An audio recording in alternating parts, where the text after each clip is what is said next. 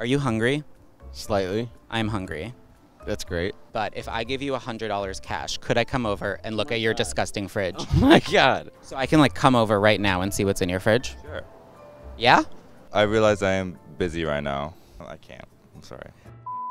Maybe it is a little bit strange, but me and my roommate have like sides. It- There's really? a line, yeah. I can't really believe people are letting us do this. Convenient. Your place. I hate it. kind of crisp. $100,000. What's in your fridge? Okay. Which side do you think is my side? Are you gonna feed me? Yeah, I'm gonna feed you. Why not? You're like a hot sauce collector. Ah, ah. All right. Cheers. Cheers. Thank you for having me. What are you gonna do with the hundred dollars? You know, I think I'm gonna save it for my London trip. You did a really good job. Oh, thank you. All right. Thank you. Bye.